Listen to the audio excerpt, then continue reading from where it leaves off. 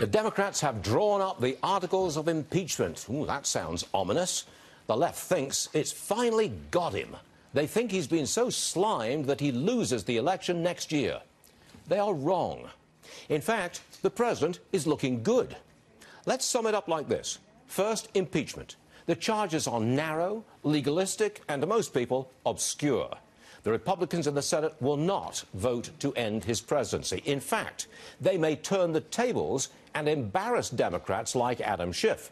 And after endless televised hearings, there is no groundswell among voters to throw him out. Impeachment may turn out to be worse for Democrats than for the president. You know, Mr. Trump is going to punch back hard. You know it. Tonight, he holds another Keep America Great rally. It's in Pennsylvania. That is a battleground state where the economy is doing very well indeed. He will be the live action president battling the Beltway. He'll beat up the impeachment brigade and tirelessly promote the prosperity that we all now enjoy. America didn't pay much attention to those mind numbing impeachment hearings.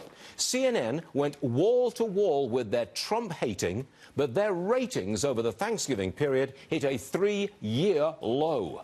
The Trump hating media is losing. Instead, Americans are enjoying the most prosperous holidays in years. The latest Gallup poll shows 55% rate the economy excellent or good, and 100 million of us directly benefit from the Trump market rally. Does anyone really believe that if a Democrat won next year, the economy would keep growing? You can bet the president will hammer that home tonight. One last point in Mr. Trump's favor the price of gas.